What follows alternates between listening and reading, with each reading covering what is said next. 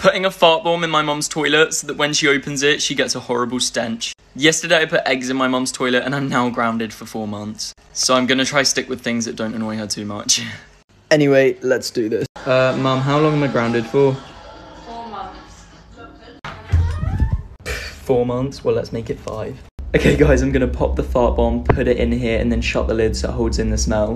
And then when my mum next uses the toilet, which will probably be in a few hours, I'll film her reaction. Okay, I'm gonna pop it. Oh! Okay, guys, that was way louder than I thought, but it's in there now, and I'm just gonna leave it in there to let the smell go around.